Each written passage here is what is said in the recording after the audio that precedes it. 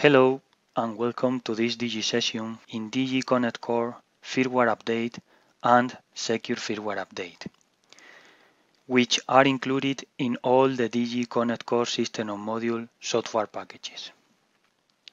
Today, I will show you how to set up the Connect Core 8M Nano using the default Digi Embedded Yocto images to be updated with the firmware update framework. Let me show you the hardware that uh, we are going to use in this video. So this is the Connect Core 8M Nano development board and today it will be needed the power supply of course, the console in order to have access to the U-boot and the kernel and for today in order to, to save the firmware update packages, we will use this USB stick. In order to find out the documentation that is uh, covering everything that I'm going to do today, we can start uh, going to Digi webpage, IoT products and services, system of modules, we can select the module that uh, we are going to use today, which is Digi Connect Core 8M Nano. In the landing page, just click in support. And the first one, under the user manuals, click on the Digi Embedded Yocto documentation portal. Here you will find everything related to the Connect Core 8M Nano. And in our case, we are going to use Digi Embedded Yocto from here, let's click in Yocto System Development tab and in particular update firmware and the topic of today which is uh, firmware update or the secure firmware update which both will use the same concept. Everything is covered here in this section program firmware from from Linux. First of all let's have a look to the requirements. So the first thing that we need in order to implement this uh, firmware update is the recovery partition. Digi is programming in this recovery partition a Linux kernel, the device tree, but what is different with the main Linux partition is an init RAM FS. This special file system on RAM allows this uh, Linux kernel to be fully functional but without sitting down in any medium storage. That means that from here we can update whatever part of the eMMC that we would like to.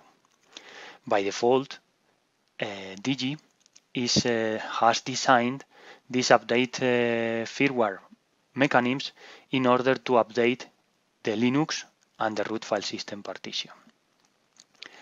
The second partition that we need to, to work with this update firmware mechanisms is what Digi has specified as an update partition. Last but not least, there are some uh, recovery utils that will make your life easy and will help you to this and to set up these mechanisms.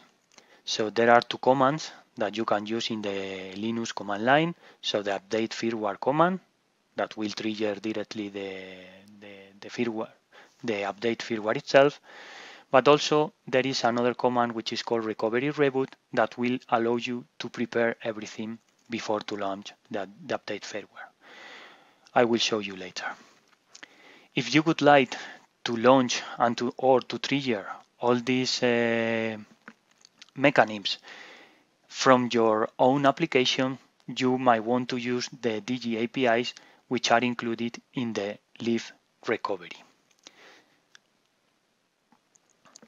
So let's have a look to the partitions. Here we can see the U-boot prompt in the Connect Core 8M Nano and we can see which partition are already predefined by default.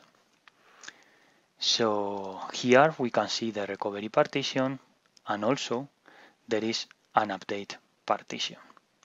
So this is this will be present every time that you are using the standard Digi images that you can download from the Digi servers. So let's boot the Connect Core 8M Nano and I will show you where this uh, eMMC layout is explained on the documentation. So here in the eMMC layout, we can see that uh, the picture shows us the recovery and also the update partition that we are going to use later.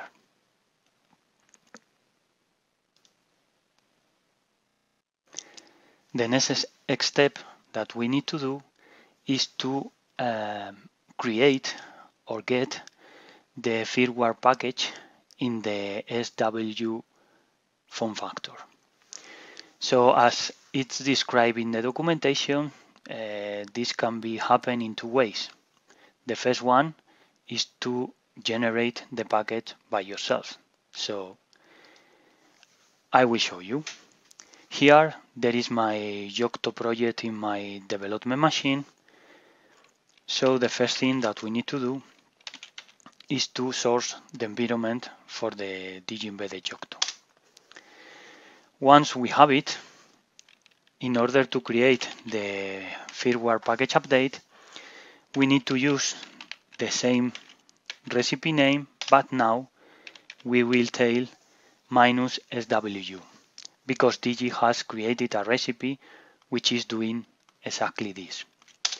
Once you have it, BitBake will have a look and will start to create uh, all the artifacts and everything and will package in one big SWU file that we will use later in order to update the, in this case, the Connect Core 8M Nano. I'm not going to wait because this can take uh, some time. So I can show you here on the on the project uh, folder if if you wait until, until the end and everything was was good in the in the folder where you are getting all the artifacts that BitBake is producing, you will find now a package which is tailed as .sw. So this is the file that we need to update later our system on module.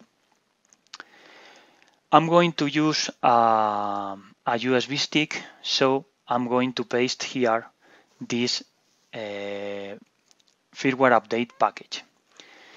This file was uh, downloaded from the Digi FTP server, so if, if you want to try, you don't even need to make any any generation or you don't need to, to touch BitBake at all.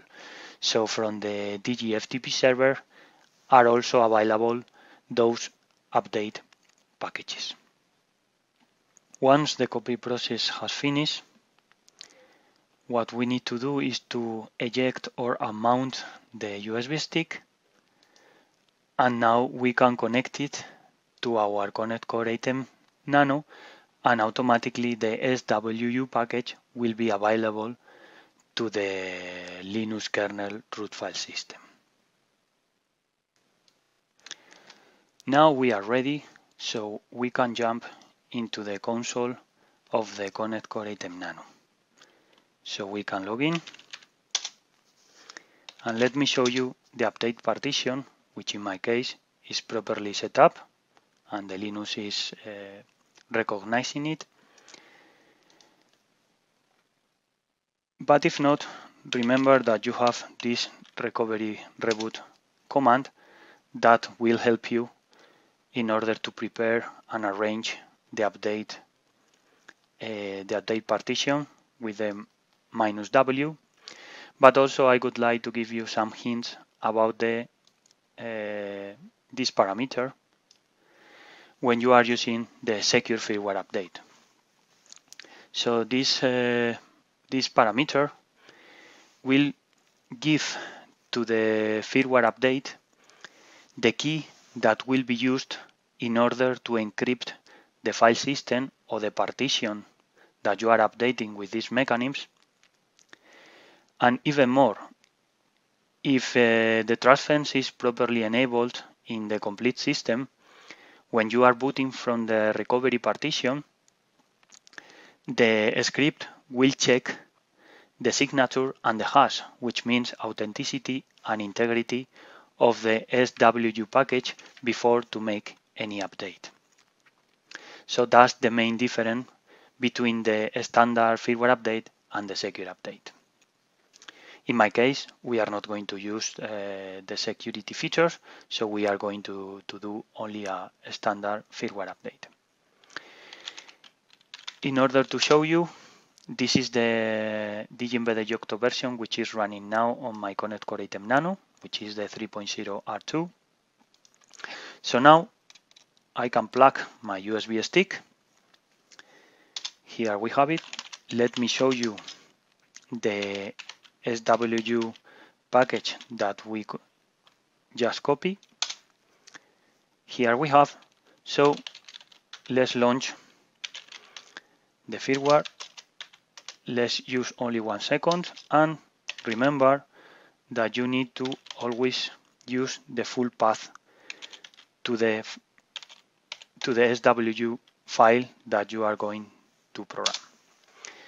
Now the system is rebooting, but now the Linux kernel which is starting is the one which is contained in the recovery partition. Now uh, a healthy check is being executed and once this is uh, okay, the partitions that are going to be updated will be formatted and later will be updated with the new uh, content. Recall that you can trigger this uh, process in your own application using the librecovery API so you can allow to your user applications to launch this me to, these mechanisms from your own software. And last but not least, I would like to show you that this is a complete unattended mechanism. So the system will uh, update the firmware. If for whatever reason the process cannot be finished, the next time that the system will boot, uh, the recovery uh, partition will start and will try to, to update the firmware again until the process has been completely successful. You could see now on the screen how the Linux partition, which is smaller, was complete. Now the root file system, which is a little bit bigger. But once the programming process will be complete, the system will reboot using the main Linux partition. This is what is happening now. So this is the kernel log from the main Linux partition. And in order to show you that we have updated the, the system, you can see now that we are running 3.0 R4 and not R2 as we were at the very beginning. That's all from my side. Thank you for your attention and stay tuned for the next coming videos.